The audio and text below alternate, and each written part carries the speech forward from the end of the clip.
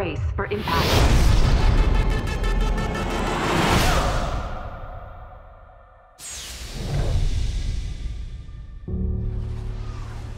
We're not the only ones that made it. Made it where?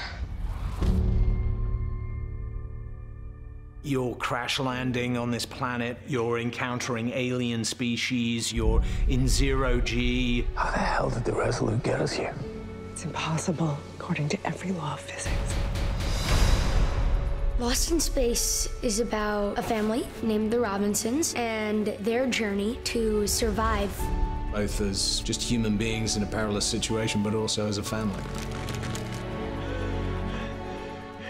It's 30 years in the future. It's a family that has been going through some emotional stress and some disconnection. Just be safe out there.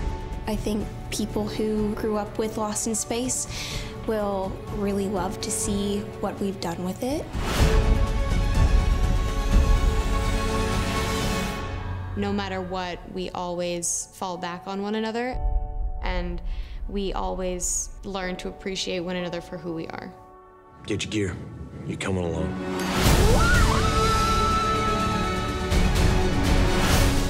Family adventure. It includes spaceships. It includes robots. It is action packed. Lost in Space is an emotional, fun roller coaster.